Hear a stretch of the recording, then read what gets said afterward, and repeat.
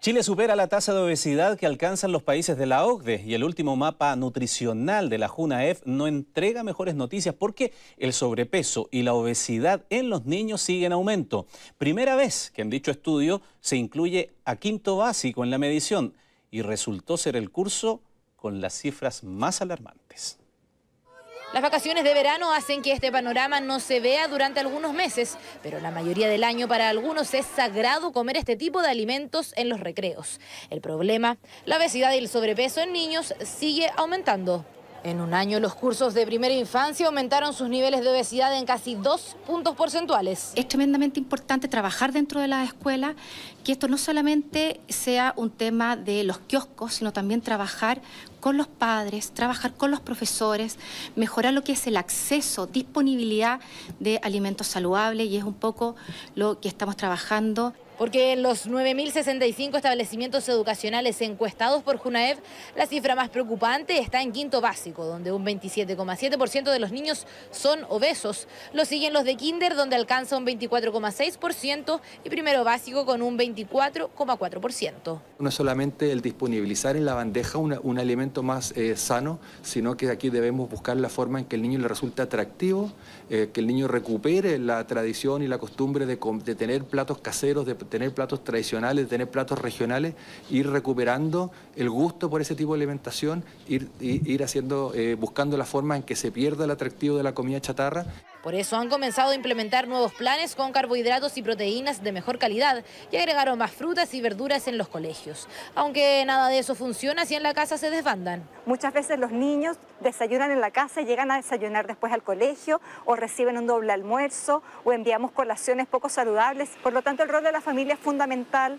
Comer en familia es sumamente protector, al menos una vez al día tenemos que sentarnos con nuestros hijos porque los papás somos los modelos que vamos a generar un hábito saludable o no. Mientras en las niñas la obesidad severa va disminuyendo a medida que crecen, en los niños esta se presenta en mayor cantidad durante prekinder, kinder, primero básico y quinto básico, alcanzando un máximo del 10,3% en kinder.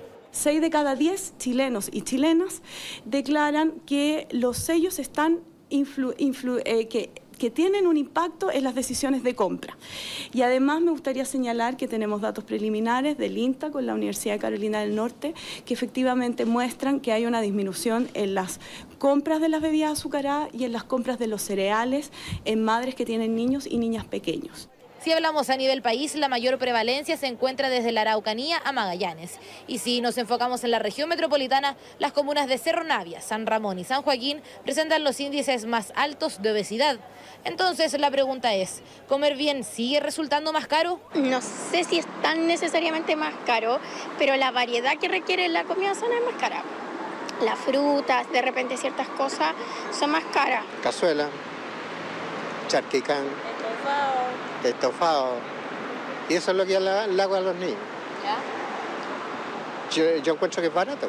No, pues la comida chatarra es más barata porque la comida sana es verdura y, y puros comida, no sé, pues, pan integral y todas esas cosas son más caras. La entrada al, al país de la comida, la comida chatarra fue lo peor de lo peor que nos pudo pasar.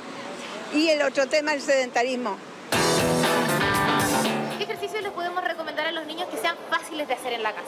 Mira, para poder hacer en la casa vamos a hacer un trabajo de salto. Ya vamos a hacer dos tipos de salto. Eh, de, separación y aproximación. ¿ya? Y también podemos hacer saltos a pie juntos para el desarrollo de patrones motores.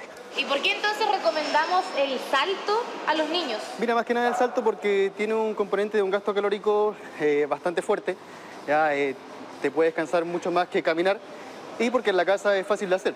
O sea, lo puedes hacer ya con un luche o hasta con la misma cerámica y las marcas de los cuadrados. Y nunca está de más el clásico acondicionamiento físico, aunque la relación con la comida es lo fundamental. Las indicaciones son evitar comer distraído con aparatos electrónicos y dejar de premiar o castigar con los alimentos, algo que no solo es tarea de los niños, sino del ejemplo de los papás.